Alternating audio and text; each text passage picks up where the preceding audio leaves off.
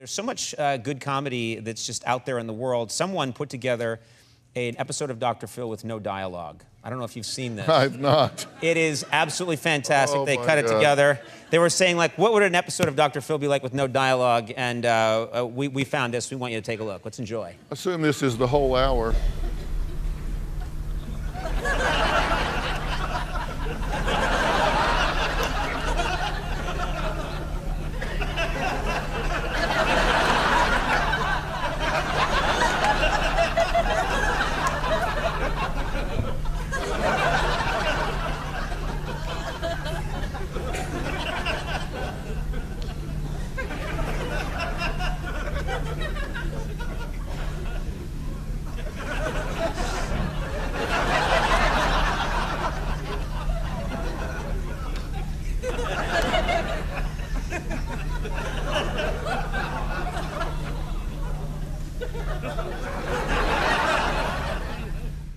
Wow.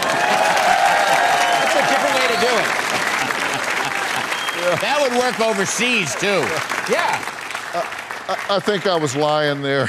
I, I definitely think I was lying. You were lying. I could see you had your tail going.